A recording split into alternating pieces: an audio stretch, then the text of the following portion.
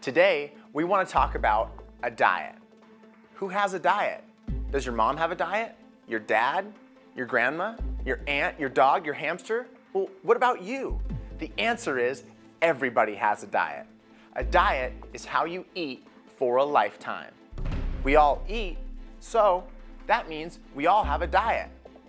Now, there are unhealthy diets and healthy diets.